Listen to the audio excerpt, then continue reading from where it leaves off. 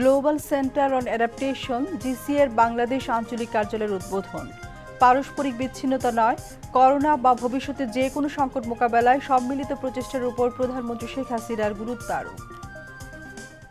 We will work together, we will fight together, we will achieve together.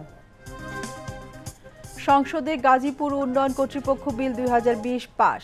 গাজীপুরকে আধুনিক সুপরিকল্পিত শিল্প ও আকর্ষণীয় পর্যটন নগরী হিসেবে গড়ে তোলার দ্বার উন্মোচন।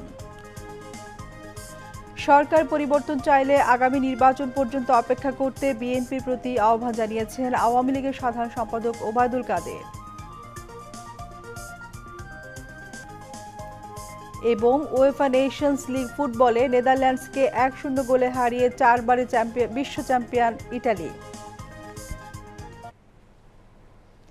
আসসালামু আলাইকুম। আমন্ত্রণ রাত আটটা সংবাদে। সাথে আছে নীলুফার জাহান রাত আটটার সংবাদ একযোগে প্রচারিত হচ্ছে বিটিভি বিটিভি ওয়ার্ল্ড ও বিটিভি চট্টগ্রাম কেন্দ্র থেকে। এতক্ষণ শুনলেন সংবাদ শিরোনাম, এবারে বিস্তারিত।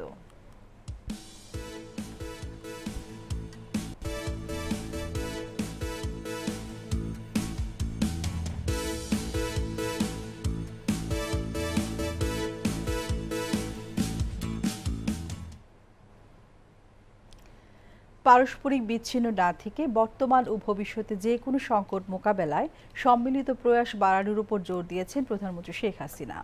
করোনা ভাইরাস প্রসঙ্গ উল্লেখ করে তিনি বলেন, এ মহামারী সব দেশের মধ্যে সহযোগিতা বৃদ্ধি এবং একসঙ্গে কাজ করার মতো পরিস্থিতি তৈরি করেছে।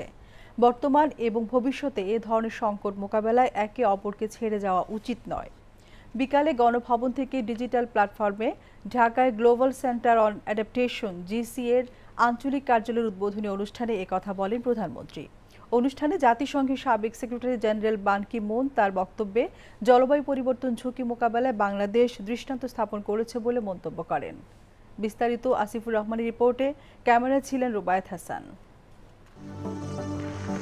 জিসিএ আঞ্চলিক কেন্দ্রটি অবস্থিত ঢাকার আগারগাঁওয়ের পরিবেশ অধিদপ্তরের নতুন ভবনে। মঙ্গলবার উদ্বোধন হয় global centre on adaptation Bangladesh আঞ্চলিক কার্যালয়ের। ভার্চুয়াল প্ল্যাটফর্মে যৌথভাবে এর আনুষ্ঠানিক সূচনা করেন প্রধানমন্ত্রী শেখ হাসিনা ও জাতিসংঘের সাবেক মহাসচিব Ban কিমুন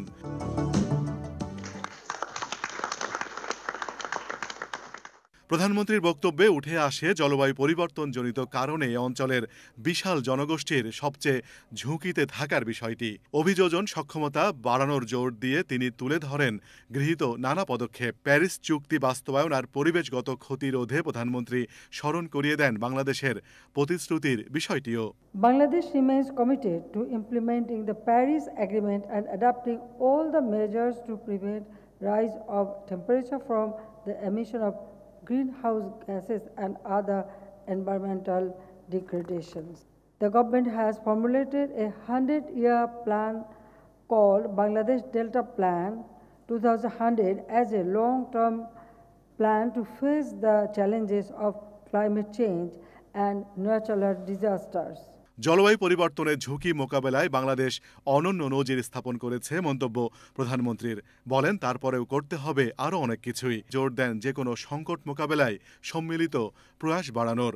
Covid nineteen pandemic fall out calls for greater cooperation and collaboration among the nations we should not leave each other rather force unity to fight the current crisis or any such one in the future. We will work together, we will fight together, we will achieve together. Virtually যুক্ত হয়ে জলবায়ু পরিবর্তন ঝুঁকি মোকাবেলা ও সাফল্যে বাংলাদেশের ভূয়সী প্রশংসা করেন জাতিসংঘের সাবেক মহাসচিব Ban Ki-moon Bangladesh is striking example of how vulnerable communities can be the most innovative in adaptation to climate change your countries and countries people in everywhere around the world they now know that Bangladesh is the best example. Digital প্ল্যাটফর্মে অনুষ্ঠানে বক্তব্য রাখেন ডাস প্রধানমন্ত্রী mark root. এছাড়া আঞ্চলিক কার্যালয়ের উদ্বোধনীতে আরও বক্তব্য রাখেন অর্থমন্ত্রী আ হম মুস্তফা কামাল, পররাষ্ট্রমন্ত্রী ডক্টর এ কে আব্দুল মোমেন, পরিবেশ, বন ও জলবায়ু পরিবর্তন বিষয়ক মন্ত্রী মোহাম্মদ শাহাবুদ্দিন এবং দক্ষিণ এশিয়ার ভারত, পাকিস্তান, নেপাল, মালদ্বীপ ও ভুটানের সংশ্লিষ্ট মন্ত্রী। আসিফুর রহমান, বাংলাদেশ টেলিভিশন, ঢাকা। বৈশ্বিক জলবায়ু ঝুঁকি মোকাবেলায় বিশ্বের অন্যান্য দেশগুলোকে এগিয়ে আসার আহ্বান জানিয়েছেন পররাষ্ট্রমন্ত্রী এ কে আব্দুল মোমেন। আজ রাজধানীতে global centre on adaptation GC এর বাংলাদেশ আঞ্চলিক কেন্দ্র ভার্চুয়ালি উদ্বোধনের পর সংবাদ সম্মেলনে তিনি এ আহ্বান জানান। সংবাদ সম্মেলনে জিসি এর চেয়ারম্যান বান কিমুন এবং পরিবেশ, বন জলবায়ু পরিবর্তন মন্ত্রী শাহাবুদ্দিন বক্তব্য রাখেন। এ সময় প্রধানমন্ত্রী সাবেক মুখ্য সচিব আবুল কালাম আজাদ, পররাষ্ট্র সচিব মাসুদ বিন মোমেন, পরিবেশ মন্ত্রণালয়ের সচিব জিয়াউল হাসান উপস্থিত ছিলেন। পররাষ্ট্রমন্ত্রী বলেন, জলবায়ু সমস্যা মোকাবেলায় বিশ্বের দেশগুলোকে তাদের সম্পদ, অভিজ্ঞতা এবং দক্ষতা নিয়ে এগিয়ে আসতে হবে। সংবাদ সম্মেলনে জিসি এর চেয়ারম্যান বান কি মুন বলেন, বৈশ্বিক জলবায়ু ঝুঁকি মোকাবেলায় বাংলাদেশের ভূমিকা অনুকরণীয়। জাতীয় সংসদে আজ তিনটি বিল পাশ হয়েছে। বিল তিনটি হলো গাজীপুর উন্নয়ন কর্তৃপক্ষ বিল দুই হাজার বিশ, বাংলাদেশ প্রকৌশল গবেষণা কাউন্সিল বিল দুই হাজার বিশ এবং Bangladesh reference institute for chemical measurements bill দুই গৃহায়ন ও গণপূর্ত প্রতিমন্ত্রী শরীফ আহমেদ এবং বিজ্ঞান ও প্রযুক্তি মন্ত্রী স্থপতি ইয়াফিস উসমান বিল তিনটি পাশের প্রস্তাব করেন। এর আগে সকালে স্পিকার ডক্টর শ্রী স্বামী চৌধুরীর সভাপতিত্বে সংসদের বৈঠক শুরু হয়। এছাড়া সংসদে বাংলাদেশ টেলিযোগাযোগ নিয়ন্ত্রণ কমিশনের বার্ষিক প্রতিবেদন দুই হাজার আঠারো, দুই হাজার উনিশ উপস্থাপন করেন ডাক ও টেলিযোগাযোগ মন্ত্রী মোস্তফা জব্বার। সংসদে বৈঠক আগামীকাল সকাল এগারোটায় আবার বসবে।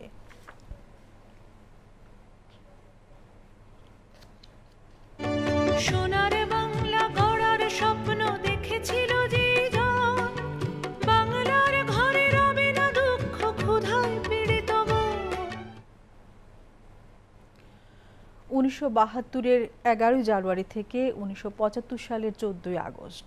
মাত্র সাড়ে তিন বছর দেশ পরিচালনার দায়িত্বে ছিলেন বঙ্গবন্ধু।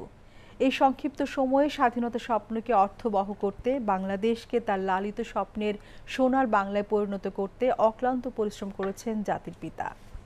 স্বাধীন দেশের রাষ্ট্র কাঠামো গঠন, গণতন্ত্র ও মানবাধিকারের উন্নয়ন, ঘুণে ধরা সমাজ ব্যবস্থার আমূল পরিবর্তন, অর্থনৈতিক উন্নয়ন এবং সাংস্কৃতিক বিকাশ সব কিছুর পরতে পরতে বঙ্গবন্ধু রেখে গেছেন তার পদচিহ্ন।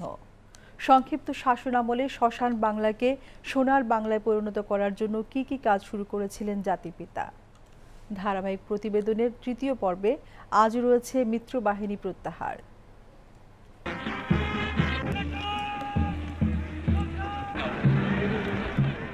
বারো মার্চ উনিশশো বাহাত্তর। সদ্য স্বাধীন বাংলাদেশের বয়স ঠিক সাতাশি দিন। সেদিন বিদায়ী ভারতীয় সৈন্যদের সম্মান জানাতে একটি কুচকাওয়াজ অনুষ্ঠানের আয়োজন করা হয় ঢাকা স্টেডিয়ামে। ওই দিনই ভারতীয় সেনাবাহিনী বাংলাদেশ ত্যাগ করা শুরু করে। পৃথিবীতে আর এরকম দৃষ্টান্ত নাই।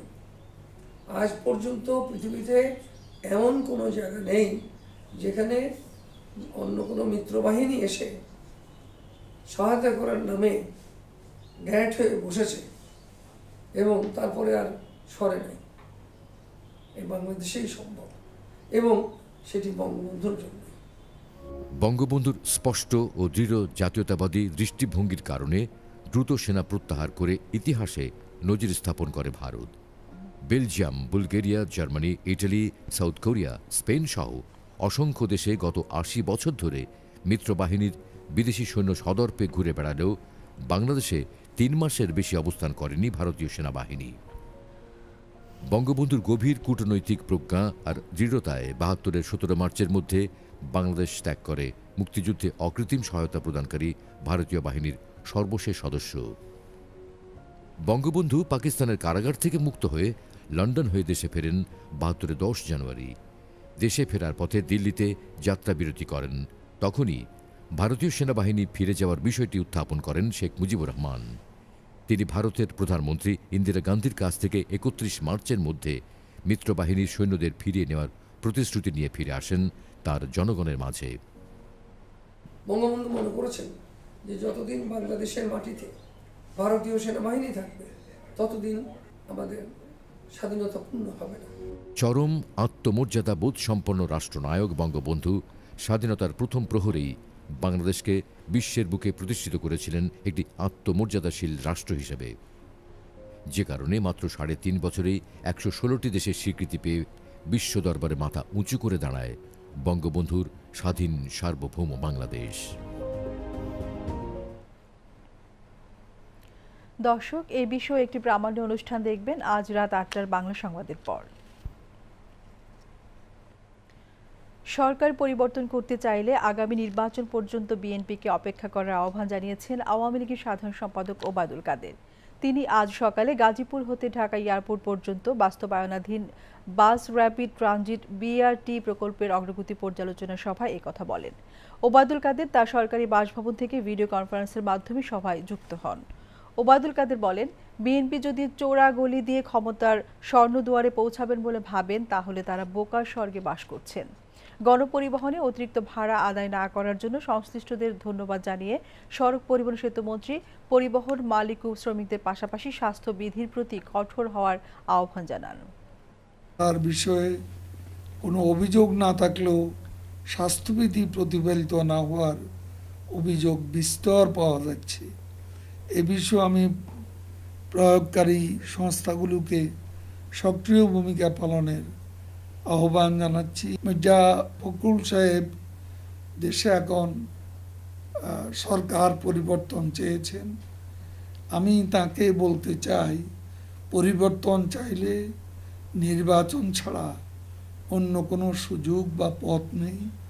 সেক্ষেত্রে আপনাদের আগামী নির্বাচন পর্যন্ত অপেক্ষা করতে হবে। গণতান্ত্রিক শাসন ব্যবস্থা নির্বাচনের মাধ্যমেই সরকার পরিবর্তন হয়, অন্য কোনো পথ দিয়ে নয়। আন্দোলনের মাধ্যমে সরকার পরিবর্তনের কোনো বস্তুগত পরিস্থিতি দেশে বিরাজমান নেই।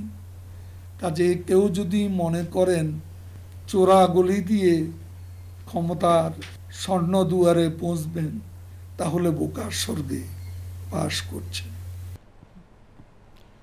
এ সময় ভার্চুয়াল প্ল্যাটফর্মে উপস্থিত ছিলেন সড়ক ও মহাসড়ক বিভাগের সচিব মোহাম্মদ নজরুল ইসলাম বিআরটি প্রকল্প পরিচালক চন্দন কুমার বসাক এবং ঠিকাদারি প্রতিষ্ঠানের প্রতিনিধি।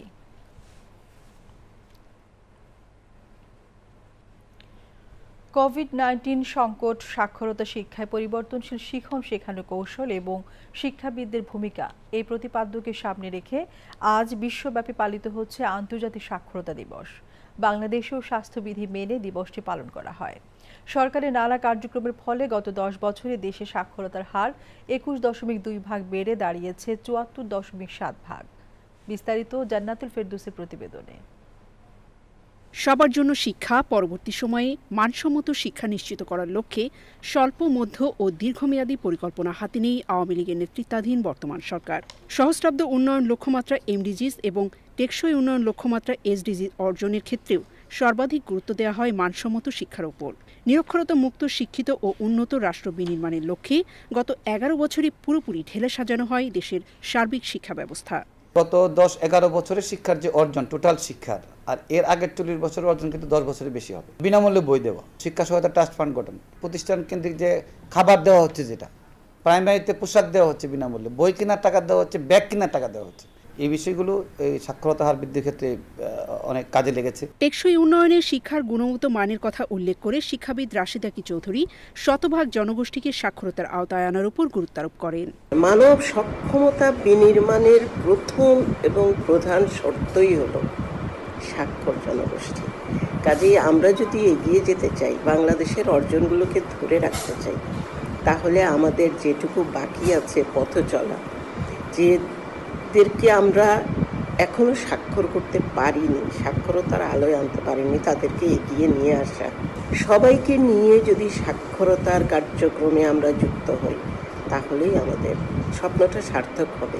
দেশে বর্তমানে সাক্ষরতার হার চুয়াত্তর শতাংশেরও বেশি উল্লেখ করে প্রাথমিক ও গণশিক্ষা প্রতিমন্ত্রী মোহাম্মদ জাকির হোসেন জানান, শতভাগ সাক্ষরতা অর্জনের লক্ষ্যে বিদ্যালয় বহির্ভূত শিশু কিশোরদের জন্য শিক্ষার বিকল্প সুযোগ সৃষ্টি করতে সরকার উপানুষ্ঠানিক শিক্ষার উদ্যোগ নিয়েছে। মৌলিক সাক্ষরতা প্রকল্প চৌষট্টি জেলা। এই কর্মসূচির মাধ্যমে দেশের চৌষট্টি জেলায় নির্বাচিত দুইশো পঞ্চাশটি উপজেলার পনেরো থেকে পঁয়তাল্লিশ বছর বয়সী পঁয়তাল্লিশ লক্ষ নিরক্ষরকে সাক্ষরতা জ্ঞান প্রদান করা হচ্ছে। ইতোমধ্যে প্রকল্পের মাধ্যমে প্রথম পর্যায়ে একশো চৌত্রিশটি উপজেলায় শিখন কেন্দ্রের তেইশ লক্ষ উনষাট হাজার চারশত একচল্লিশ জন নিরক্ষরকে সাক্ষরতা প্রদান করা হয়েছে। মুজিব শতবর্ষ উপলক্ষে আরও একুশ লক্ষ নিরক্ষরকে সাক্ষরতা প্রদান করার কার্যক্রম চলমান আছে। প্রতিমন্ত্রী আরও বলেন কোভিড নাইন্টিন মহামারীতে শিক্ষার্থীদের সাময়িক সমস্যা হলেও কোভিড উত্তর সময়ে নির্ধারিত কারিকুলাম শেষ করতে বিকল্প ব্যবস্থা গ্রহণ করা হবে। জান্নাতুল ফেরদৌস বাংলাদেশ টেলিভিশন ঢাকা। এবার রয়েছে বিজ্ঞাপন বিরতি। বিরতির পর থাকছে অন্যান্য খবর। স্ট্যাচু! আগে লাইফ বয় তারপর আদর। দেখো, এখানে ভাইরাস থাকতে পারে, যা যেতে পারে আমার কাছ থেকে তোমার কাছে। তারপর অসুখ, তো আগে ভাইরাসকে স্ট্যাচু করে দেই। লাইফ বয় সাবান দেয় কোভিড নাইন্টিন করোনা ভাইরাস থেকে নিরানব্বই দশমিক নয় শতাংশের অধিক কার্যকর সুরক্ষা। বিরতির পর আবারও সংবাদে স্বাগত। প্রাথমিক ও গণশিক্ষা প্রতিমন্ত্রী মোহাম্মদ জাকির হোসেন বলেছেন কোভিড নাইন্টিন পরিস্থিতিতে শিশুরা যাতে পিছিয়ে না পড়ে, সেজন্য টিভি ও রেডিওতে শিক্ষা কার্যক্রম চালু করেছে সরকার। আজ ঢাকায় আন্তর্জাতিক সাক্ষরতা দিবস উপলক্ষে প্রাথমিক ও গণশিক্ষা মন্ত্রণালয় আয়োজিত কোভিড নাইন্টিন সাক্ষরতা শিক্ষায় পরিবর্তনশীল শিখন শেখানো কৌশল এবং শিক্ষাবিদদের ভূমিকা শীর্ষক আলোচনা সভায় তিনি একথা বলেন। মন্ত্রণালয়ের সিনিয়র সচিব আকরাম আল হোসেন অনুষ্ঠানে সভাপতিত্ব করেন।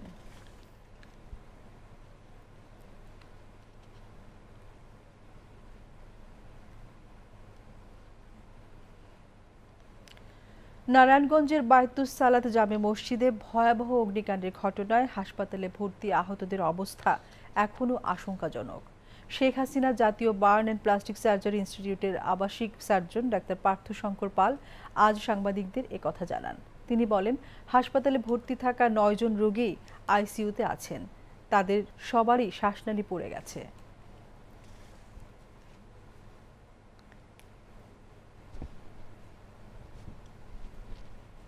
আমাদের এখানে এখন নয়জন পেশেন্ট আছে এবং নয়জন পেশেন্টই আইসিইউতে আছে। আমরা গতকাল একজন পেশেন্টকে ছেড়ে দিতে মামুন নামে একটা পেশেন্ট তার বারো পার্সেন্ট বান ছিল। আশা করি সে ভালো থাকবে আর কি। আমরা আমাদের হায়েস্ট চেষ্টা করতেছি এগুলি যে কত কয়েকজনকে বাঁচানো যায় কিনা, আমরা আশা করতেছি হয়তো পারব সেদিকে।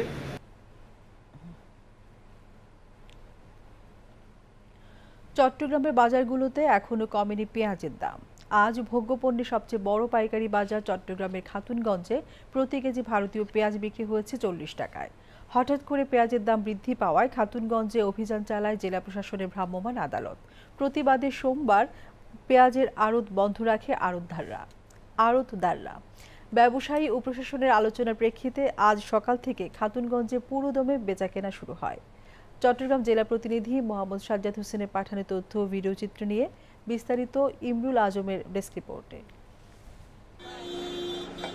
হঠাৎ করে পেঁয়াজের দাম বৃদ্ধি পাওয়ায় গত ছয় সেপ্টেম্বর চট্টগ্রামের পাইকারি বাজার খাতুনগঞ্জ অভিযান চালায় জেলা প্রশাসনের ভ্রাম্যমাণ আদালত।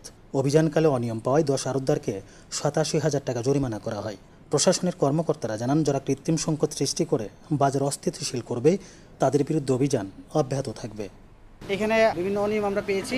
যেমন তারা আপনার শুধু সেলিং রিসিপ্টটা আমাদের কাছে দেখাতে পারছে, কিন্তু তাদের অন্য কোনো পেপারস নাই। অর্থাৎ তারা নিজেদেরকে কমিশন এজেন্ট হিসেবে বলতেছে, কিন্তু কমিশন এজেন্ট হিসেবে তারা কোন জায়গা থেকে কিনতেছে, তারা এই ডকুমেন্টসগুলো আমাদেরকে দেখাতে পারতেছে না। প্রশাসনের আকস্মিক এই অভিযানের প্রতিবাদে পরদিন সাতই সেপ্টেম্বর সকাল থেকে দোকান বন্ধ রেখে বিক্ষোভ করে আরতদাররা তাদের দাবি, আমদানিকারকরা তাদের যে দামে বিক্রি করতে বলেন, তারা কমিশনের ভিত্তিতে সে দামেই পেঁয়াজ বিক্রি করেন।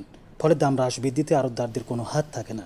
পরে আরতদাররা বিষয়টি চট্টগ্রাম চেম্বারের সভাপতি মাহবুল আলমকে অবহিত করলে তিনি জেলা প্রশাসকের সাথে আলাপ করে সমাধানের আশ্বাস দিলে আজ সকাল থেকে পেঁয়াজ বিক্রি শুরু করেন আরতদাররা ব্যবসায়ীরা বলছেন, গত সপ্তাহে আমদানি করা প্রতি কেজি পেঁয়াজের দাম পঁচিশ টাকা থাকলেও চলতি সপ্তাহে তা চল্লিশ টাকার উপরে বিক্রি হয়।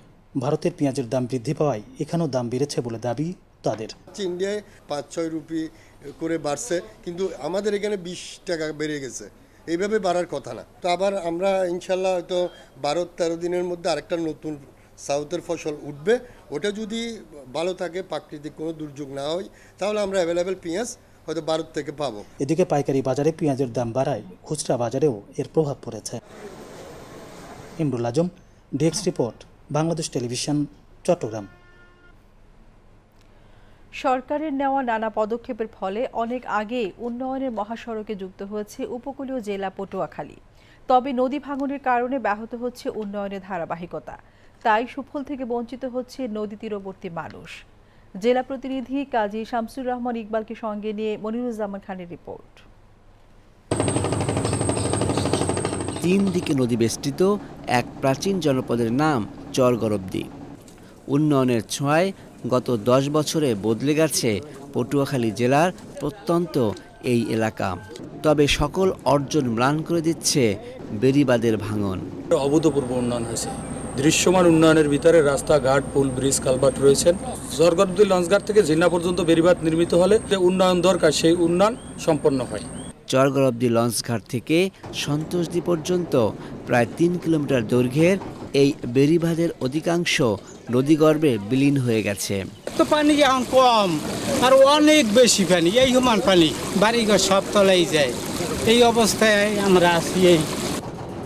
হুমকির মুখে পড়েছে ঘরবাড়ি সহ বিভিন্ন সামাজিক প্রতিষ্ঠান। বন্যা কিংবা জ্বরের পানি ঢুকে নষ্ট করে দিচ্ছে কৃষকের ফসল খামারির মাছ। আমাদের এই কানি থেকে যে ফসল ফাদি এইগুলি নিয়ে আমাদের নষ্ট হয়ে যেতেছে আমার মতো আরও অনেক মাছ চাষি আছে যাদের এই নদী ভাঙনের ফলে সব মাছ মানে পানির সাথে বিলীন হয়ে গেছে। এ ভাঙনকে আরও তীব্র করছে অবৈধ বালু উত্তোলন। আমাদের এই নদীর কিনার দিয়া একদল লোকেরা বালি উত্তোলন করে। সেই বালি উত্তোলনের ফলে আমাদের সম্পত্তি ভেঙে যায়। দ্রুত বাঁধ নির্মাণ ও সংস্কার করে উন্নয়নের সুফল এলাকাবাসীর কাছে পৌঁছে দেওয়ার প্রতিশ্রুতি দিলেন স্থানীয় জনপ্রতিনিধি। ওই ভাঙ্গর রোধ করার ব্যাপারে আমার পক্ষে যেটা করণীয় ইনশাল্লাহ আমি সেটা করব। আমি কথা দিছি। এলাকাবাসী বলছেন বাঁধ সংস্কার ও নির্মাণের পাশাপাশি অবৈধ বালু উত্তোলন বন্ধ করলে তারা উন্নয়নের পুরো সুবিধাই পাবেন। মনিরুজ্জামান খান বাংলাদেশ টেলিভিশন। অনলাইন ও সামাজিক যোগাযোগ মাধ্যমে গুজব ও মিথ্যা তথ্য প্রচার সম্পর্কে মানুষকে সচেতন করতে আসল চিনি নামে একটি বিশেষ ক্যাম্পেইন চালু করেছে তথ্য ও যোগাযোগ প্রযুক্তি বিভাগ। আজ রাজধানীতে তিন মাসব্যাপী এই ক্যাম্পেইনের উদ্বোধন করেন তথ্য ও যোগাযোগ প্রযুক্তি প্রতিমন্ত্রী জোনায়দ আহমেদ পলক। ডিজিটাল সিকিউরিটি এজেন্সির মহাপরিচালক মোহাম্মদ রেজাউল করিমের সভাপতিত্বে অনুষ্ঠানে উন্নয়নের মধ্যে তথ্য যোগাযোগ প্রযুক্তি বিভাগের সিনিয়র সচিব এন এম জিয়াউল আলম বক্তৃতা করেন। প্রতিমন্ত্রী বলেন, মিথ্যা তথ্য ও গুজবের ভিড়ে অনেক সময় আসল নকল চেনা কঠিন হয়ে পড়ে। তাই সবাইকে সত্য, মিথ্যা ও গুজবের বিষয়ে সচেতন হতে হবে। দুর্বার একুশ ডট ওআরজি ওয়েবসাইট কিংবা সামাজিক যোগাযোগ মাধ্যমে যে কোনো বাংলাদেশি নাগরিক আসল চিনি ক্যাম্পেইনের সাথে যুক্ত হতে পারবে। দেশে করোনা ভাইরাসে গত একদিনে ছত্রিশ জন মারা গেছেন। এ পর্যন্ত দেশে মোট মৃতের সংখ্যা চার হাজার পাঁচশো বাহান্ন জন। করোনা ভাইরাসে আক্রান্তদের মধ্যে নতুন সুস্থ হয়েছেন তিন হাজার দুইশো ছত্রিশ জন। এ পর্যন্ত মোট সুস্থ হয়েছেন দুই লাখ সাতাশ হাজার আটশো নয় জন। আজ স্বাস্থ্য অধিদপ্তরের এক সংবাদ বিজ্ঞপ্তিতে এ তথ্য জানানো হয়েছে। বিজ্ঞপ্তিতে জানানো হয়, গত একদিনে এক হাজার আটশো বিরানব্বই জনের দেহে করোনা ভাইরাস শনাক্ত হয়েছে। শনাক্তের হার বারো দশমিক ছয় চার শতাংশ। দেশে এ পর্যন্ত মোট তিন লাখ উনত্রিশ হাজার দুইশো একান্ন জনের দেহে করোনা ভাইরাস শনাক্ত হয়েছে। এবারে খেলার খবর।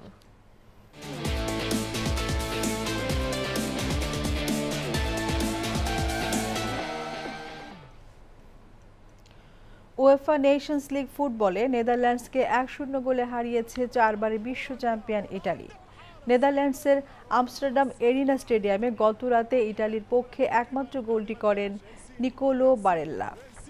অপরদিকে বসনিয়া হার্জেগোভিনাকে দুই এক গোলে পোল্যান্ড কাজাকস্তানকে দুই এক গোলে বেলারুশ, চেক রিপাবলিককে দুই এক গোলে স্কটল্যান্ড নর্দার্ন আয়ারল্যান্ডকে পাঁচ এক গোলে নরওয়ে, অস্ট্রিয়াকে তিন দুই গোলে রোমানিয়া এবং আলবেনিয়াকে এক শূন্য গোলে হারিয়েছে লিথুনিয়া।